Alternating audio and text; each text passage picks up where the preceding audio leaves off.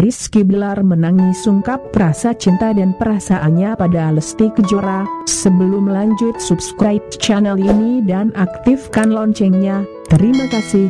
Rizky Bilar dan Lesti kali ini membuat satu studio konser romantis 2020 terharu dengan ungkapan romantis antara mereka berdua dari tayangan kanal YouTube konser romantis Indosiar. Setelah Lesti selesai menyanyikan sebuah lagu bersama Rizky Bilar dihampiri oleh Indra Bekti. Indra Bekti selaku host bertanya pada Lesti seperti yang hendak menangis saat bernyanyi. Kenapa kamu menangis lagi untuk yang kedua kali di lagu yang sama? Tanya Indra. Tapi Lesti menolak menjawab seolah sedang menahan air matanya.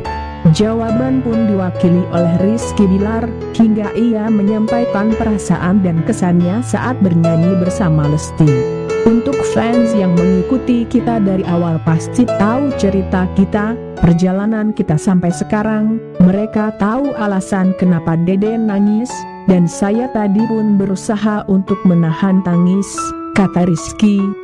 Karena lagu tersebut ada kesan, serta suatu hal memuarabe bagi mereka, serta lagu pertama yang Rizky Bilar pertama kali mendengar suara indah Lesti Kejora di lagu Terlena.